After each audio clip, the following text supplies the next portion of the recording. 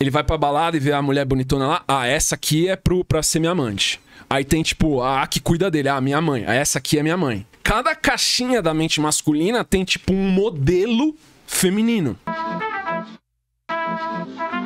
Então ela entra no estado de fantasia, onde ela começa a criar uma fantasia imaginada, por exemplo, a ilusão da princesa ou a ilusão do harém do homem, onde a ilusão do harém do homem é nunca você feliz com uma mulher só.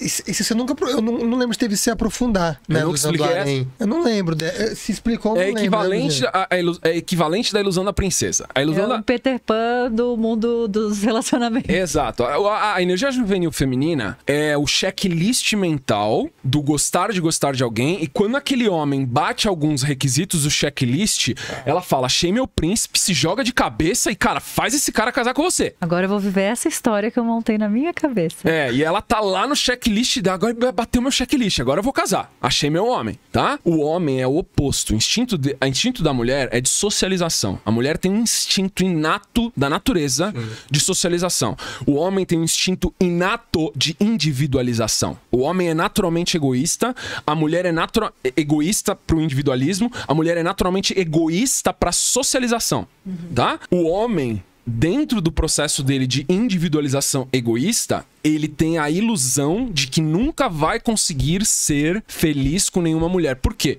Porque o homem imaturo, ele compartimentaliza excessivamente as experiências. Então ele bate o olho numa mulher, por exemplo, a amiga dele. A amiga dele dá conselho. Ah, essa é a que me dá conselho. Ele vai pra balada e vê a mulher bonitona lá. Ah, essa aqui é pro, pra ser minha amante. Aí tem, tipo, a que cuida dele. Ah, minha mãe. Essa aqui é minha mãe. Cada caixinha da mente masculina tem, tipo, um modelo feminino. O Jung até deu nomes pra isso.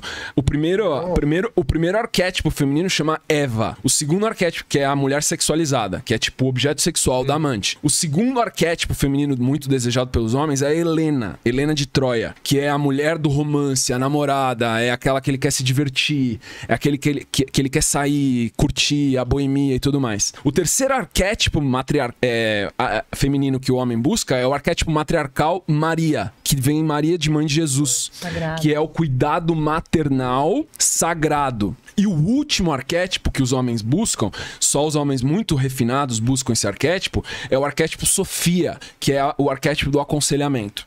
Cada uma, o homem imaturo, ele tem acesso a todos, só que ele busca de maneira individualizada. Uma é Eva, outra é Helena, outra é Maria, outra é Sofia. O homem maduro, ele fez o processo de conexão com o feminino, ele integralizou os arquétipos e ele fala: minha esposa consegue me entregar tudo. Ele rompeu essas caixinhas pra não precisar separar. Ele rompeu as caixinhas. Ele conseguiu transcender a compartimentalização e agora ele consegue processar as informações como a mulher consegue, que é sistêmica. Aham. A mulher, ela processa a informação de maneira sistêmica, eu chamo multidirecionalidade.